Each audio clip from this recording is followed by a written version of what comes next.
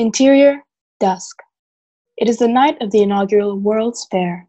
Outside, the Windy City is abuzz with activity, but here, Mary and Matilda sit in Matilda's bedroom.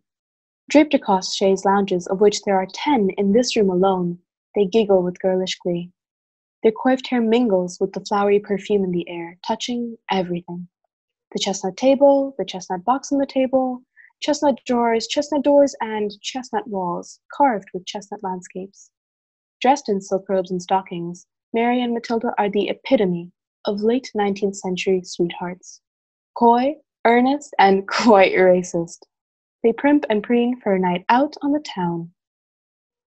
Oh, Mary, I'm dreadfully nervous to be riding in Frederick Donahue's carriage tonight. He's such a dream. Thank you for coming over before we go out. I'm so excited. The World's Fair, the wonders of 1893, right at our doorstep in the beautiful city of Chicago. Oh, the glamour, the ingenuity. they, they laugh, unable to vote, even a little bit. Of course, Matilda. I know he's been courting you mercilessly, but I hope you don't fall prey to Frederick Donahue's charms. He may not be what he seems. Oh, but Mary, how could I not? We are women, after all. wow, my body is a prison. Well, Mary, do you mind adjusting my corset? Of course, dear. Invasive or non? It's a big day. I think invasive is called for, don't you? That's exactly what I was thinking. Matilda expertly dry swallows five sleeping pills and slumps onto her favorite chaise lounge. Mary unlaces Matilda's corset, and from the chestnut box on the chestnut table, she produces gloves, a surgical mask, and a scalpel. All right then. Mary removes Matilda's pancreas, her right kidney, her spleen, and a portion of her liver. She tosses each of them into the chestnut box, imagining the cheers of thousands as she does so. An athlete and a woman! Matilda is still deeply a snooze as Mary stitches her back up. She fits a corset around her friend, newly freed as she is from the bodily constraints of so many organs inside of her. Mary laces up the bodice and pulls, the emptiness inside of Matilda letting the corset cinch snugly to a 20 inch circumference. The last pull jolts Matilda awake. Christopher Columbus! Matilda! Language! Sorry, dear. Did everything go all right? Swimmingly, especially since you had your appendix permanently removed. It was much quicker. Oh, you're a doll. Matilda, now that you're awake, I have a confession to make. A secret that has been weighing quite heavily on me. I. Ladies, Frederick Donahue has arrived. Thank you, Frances. Send him in. Oh, Matilda, if only you knew. Frederick Donahue enters the room, his mustache waxed, his shoes shining. His face betrays an arrogant air, a radiant wealth, but behind this facade, a secret. Matilda, my dear, delightful to see you. Freddie! They embrace with tongue. Hello, Mr. Donahue. Mary. Uh, al- always a pleasure. We're so excited for the World's Fair, darling.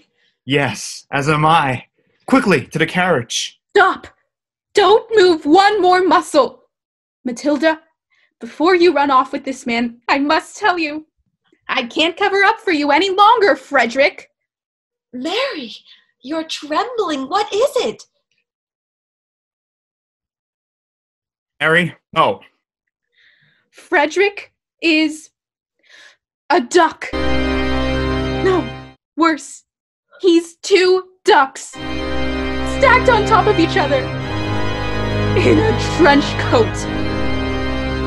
Mary runs to Frederick and tears open his suit to reveal not one, but two ducks stacked on top of each other in a trench coat. Can it be true? I feel faint. please, Matilda, forgive me. Oh, God! Really, Mary? Well, two can play at that game. Matilda, you should know that your little friend there isn't who she says she is either. She is actually three ducks. stacked on top of each other. And under the second duck from the top, a series of three smaller ducks making up that central duck's body. Frederick tears open Mary's robe to reveal not one, not two, but three ducks. And under the middle duck's coat, can it be so? Indeed, three smaller ducks. Christopher Columbus! Mary, language! Fine, it's true. But our friendship, Matilda, I could have never lied about. Everyone, stop this. I have seen many things in this house, and I have stayed silent, but I will not tolerate it any longer. Miss Matilda has been keeping a secret from you. A dark, terrible secret. She is not what she appears to be. She is actually. Oh. Frances staggers back and falls, the bullet hitting her right in the heart. Matilda brings the smoking gun to her lips and blows away the last tendrils of smoke.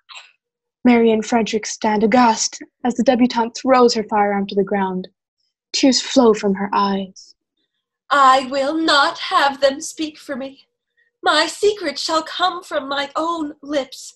Frederick, Mary, it's time you both knew. I am one sixteenth black. Oh, Oh, I have to go. um, I think mother is uh telegraphing me. Uh, g- good evening.